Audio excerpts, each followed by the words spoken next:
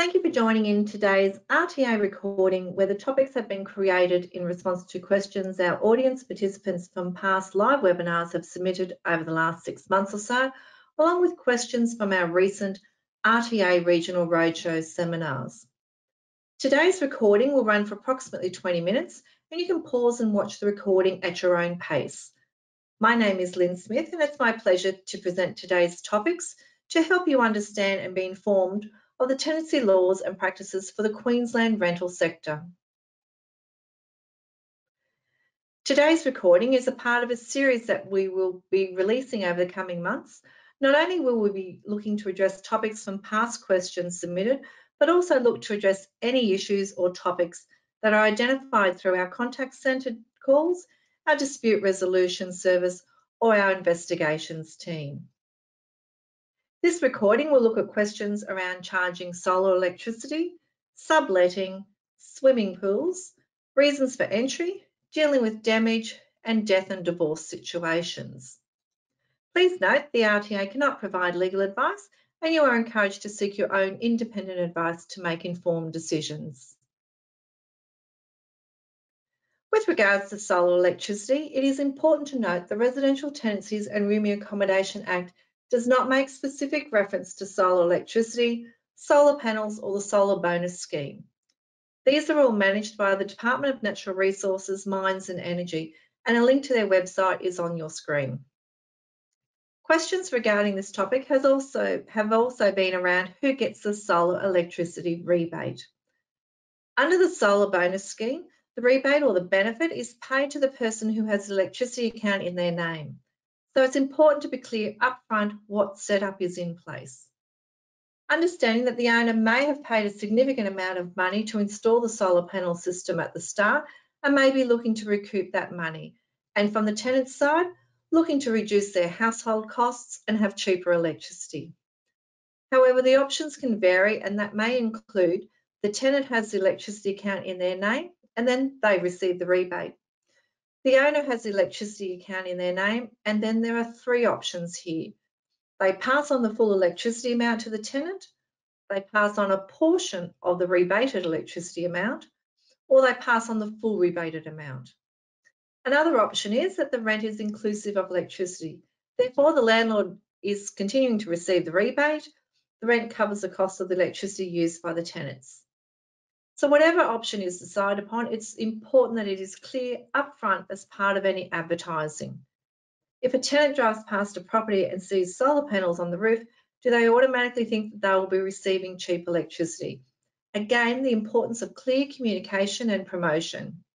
Whatever has been agreed upon, the RTA strongly recommends that any agreement is put in writing as to how the electricity will be charged and how any rebate will be applied.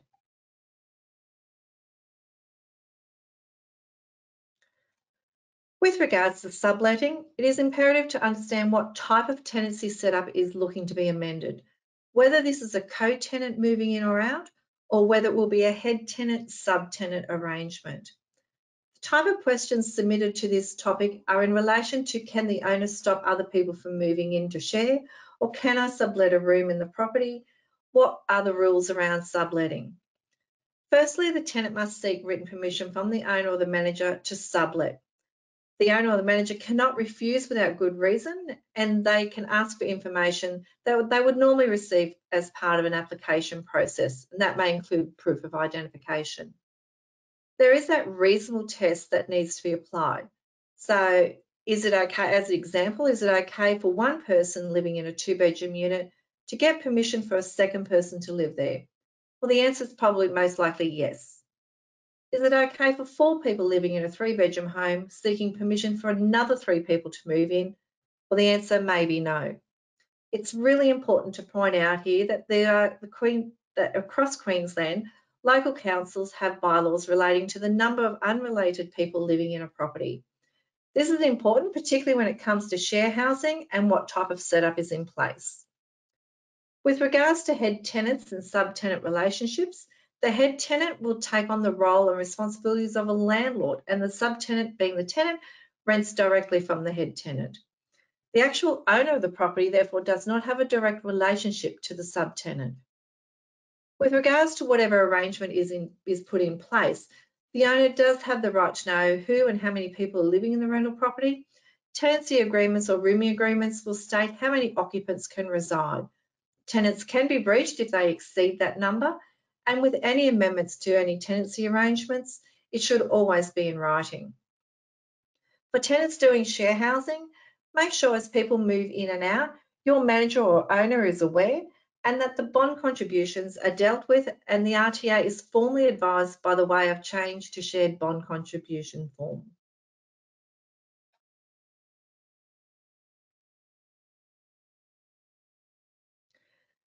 The RTA receives a lot of questions about who is to maintain a swimming pool. It's important to point out two parts of the legislation first.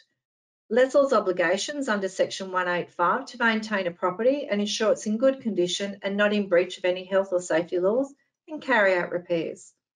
There is also the tenant's obligations to keep the premises clean and care for the property and not cause damage and to return it in the same condition it was at the start of the tenancy, less fair wear and tear. That can be found under Section 188. Firstly, the pools also must meet the Queensland safety and legislative requirements. Pool safety laws come into effect from December 2010 and required pool and required that pools across Queensland to be registered and before a property is leased or sold required a current pool safety certificate to be in place. By 2015, all pools across Queensland, including homeowners, also need to meet the pool safety standards. A pool safety certificate will have an expiry date, so it's best to check and ensure it's still current.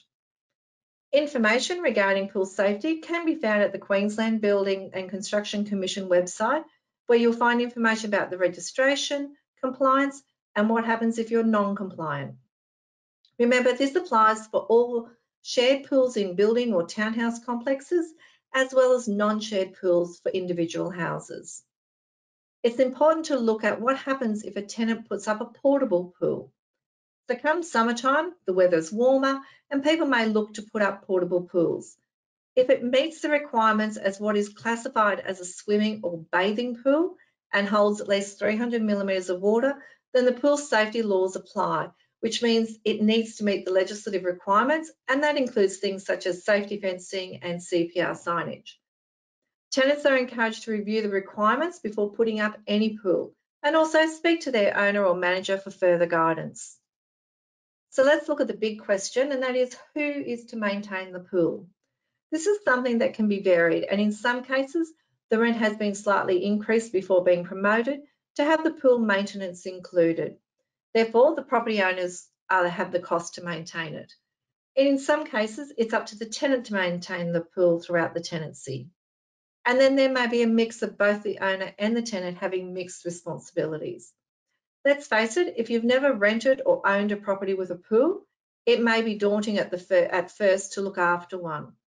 Checking water levels, clearing out the skimmer box regularly, backwashing, cleaning, and checking to make sure the chemicals and all the salt balances are correct. There's no right or wrong. There's no right or wrong in these scenarios as to who does what. The main thing is that the pool is maintained and that it's understood and recorded from the start in writing who has what responsibilities. Not taking away from the owner's responsibility under the legislation to do maintenance, and that might fall into the category of replacing a creepy crawly part or a filter. It's really important. It's up to the parties to negotiate, ensure it's in writing. Consider if the tenant is to maintain the pool that there are clear instructions on what is required, how to do it, how often and when. In some scenarios, the tenant or the owner may choose to engage a third party, such as a pool supplier or maintenance person, to carry out the regular tasks required to ensure the pool is being cared for. Just be mindful that any special terms that are placed in a tenancy agreement that it's not in breach of the Residential Tenancies and Room Accommodation Act or contracts outside the legislation.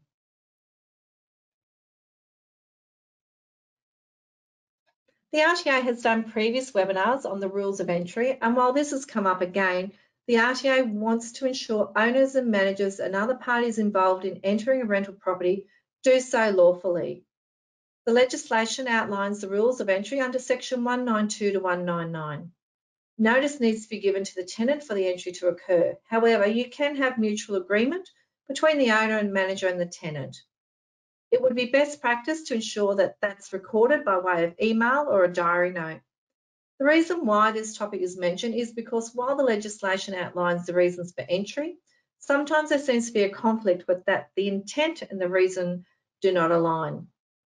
The RTA's concern is where notification is given for one thing, but the intent leads to something different. And as an example, entry for evaluation to be conducted and whether the valuer person is being accompanied by the owner or not, the intent of the entry is to conduct a valuation of the rental property, not to conduct a routine inspection to see how the tenant is looking after the property. If you have entered on the grounds of evaluation, then you should not be conducting a routine inspection nor issuing a breach notice if the premises are not being kept in a clean and tidy condition. The Act outlines timeframes for notices that can be given to a tenant and for what reason. With regards to how many routine inspections can occur and over what period, there cannot be more than four routine inspections per year, not less than three months since the last one. While a tenant may give mutual agreement for an entry to occur less than a three-month period, the legislation is very clear as to when entry can occur. There is also the process to follow if upon entry for a routine inspection that a significant breach has occurred, and the RTA has done a webinar recording available on our website regarding breaches, including that significant breach and what that involves. So just before I move on, I'll also just flag at this time of the recording the COVID-19 emergency response regulations and the amendments that are in place from April to December 2020 regarding entry. More information on the regulations along with the residential practice guide can be found on the RTA's website. The RTA receives numerous inquiries regarding what is fair wear and tear and what is damage. What can I claim and what happens if the damage is more than the bond amount? The tenant has responsibilities under legislation to return the property in the same condition it was at the start of the tenancy, less fair wear and tear. They also have responsibility not to cause damage or allow someone else to cause damage. Fair wear and tear are signs of normal or reasonable use of the premises by the tenant. Wear and tear can occur over time and items can also deteriorate through no fault but by environmental factors. Small scuff marks on the lower walls, carpet pile flattened from foot traffic, these are signs of fair wear and tear. What is not wear and tear is damage, holes in walls, large stains on carpet, whether that's intentional or accidental. What is not neither wear and tear nor damage may fall into the cleaning category, grease, grime and dirt. It's not wear and tear. The property owner ensures the premises are clean and fit for the tenant to move into at the start, and then during the tenancy, the tenant is to maintain the premises in a clean and tidy manner, and at the end, return the property in the same condition it was at the start, less fair wear and tear. Every situation should be dealt with on a case-by-case basis. The important message to take home is the importance of the entry condition report being completed at the start of the tenancy, taking photos and documenting the real property condition. Likewise, at the end, exit report and evidence again. The RTA has short videos available on the website for both owners and tenants regarding the process. Tenants are responsible for their own tenancy history. If there is damage at the end of the tenancy or clean that has not been rectified, then the owner or the manager can make a claim on the rental bond. If there is money owed due to cover the damage that's over and above the bond amount, then they can also lodge a dispute resolution request with the RTA seeking money over and above the bond. A notice of unresolved dispute will be issued for the owner or the manager to take it to QCAT to get an order in pursuing the outside outstanding money. If an order is made, then there are processes to follow if the tenant does not pay, and that may further involve going through the magistrate's court. In a lot of cases, Landlords may also have landlord's insurance to add that extra peace of mind in case of a situation where the bond may not cover the amount owing. I cannot provide you with financial or legal advice, and landlords are encouraged to do their own due diligence and seek professional advice in this field.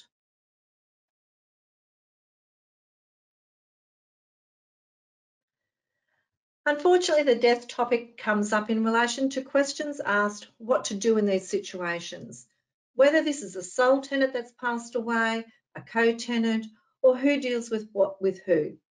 Who has the right to the tenant's possessions?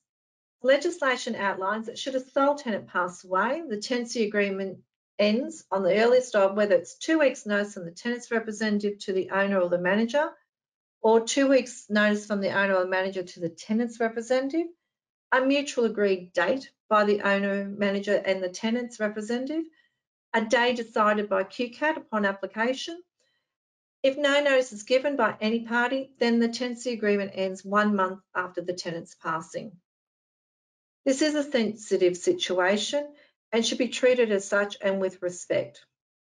Most tenancy applications will have a next of kin details on their form in case of any emergency situation. However, when it comes to the tenant's possessions, then that may fall to the executor of the deceased tenant's estate. And keep in mind, it may not necessarily be the next of kin. Good, compassionate communication between the tenant's representatives and the owner or the manager is required. From the RTA's point of view, we will, be we will require written notification from the next of kin or the executor of the estate to discuss any bond information. We have been asked by real estate agents in the past, is it their responsibility to notify the RTA that the tenant has passed? No, not officially, it's not. However, we do get some agents informing us, so we will make notes of what's actually occurred. Having said that, we will need to ensure the tenant's representatives make contact with us and we have their contact details to deal with them direct. If there is a claim on the bond, then the bond process will follow its normal path.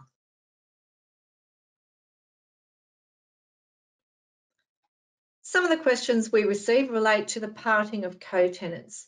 So whether this may be way of divorce, separation or another way. Questions about what involvement does the owner have? Do they get involved with who? And who stays or who goes or how to end the agreement. Again, another sensitive topic, but something that does actually happen in the rental situations. Any issues between the couple or the co-tenants are their issue and not the involvement of the property owner or manager. One important point in these situations is to be careful with regards to any breaches of privacy. There is a whole topic on domestic and family violence and it's not my intent today to go into such an important topic. And we will cover this in, more in a more detailed webinar recording later. Just quickly noting on domestic and family violence, the new COVID-19 regulations have placed amendments for both the tenants and owners and managers in relation to domestic and family violence situations. So with regards to the tenants parting, from an owner or manager's point of view, they will be needing to find out what is the intent of the co-tenants if they're both listed on the agreement? Or is there one name on the agreement? Is the agreement to end or is one party continuing to stay on in the rental? Is it a lease break situation? Or are they seeking to mutually terminate their tenancy on the grounds of excessive hardship? Any amendments or any agreements need to be done in writing. Any changes to the bond contributors need to be addressed as well. Similar to what I mentioned earlier with co-tenants in the subletting topic, the change of bond contributors needs to be completed and lodged with the RTA. With the changes, it's up to the co-tenants to sort out the bond money between themselves, and then as the outgoing tenant is paid out, they need to sign over their portion of the bond to the remaining tenant.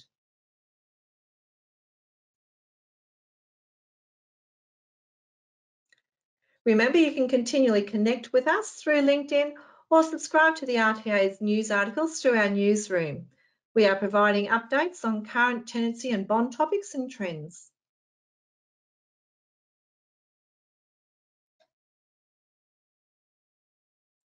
For more information on these topics or other tenancy and bond information, please go to the RTA's website, rta.qld.gov.au, or if you have any questions at all, please contact our contact centre and speak to one of our friendly staff on 1300 366 311. Remember, if you need any tenancy assistance, the, tenant, the RTA is here to help you, whether you're the tenant, property owner or manager, rooming provider or a resident. Thank you for your time today. Please stay tuned for more tenancy information being delivered through this type of education and various other channels from the Residential Tenancies Authority. Thank you.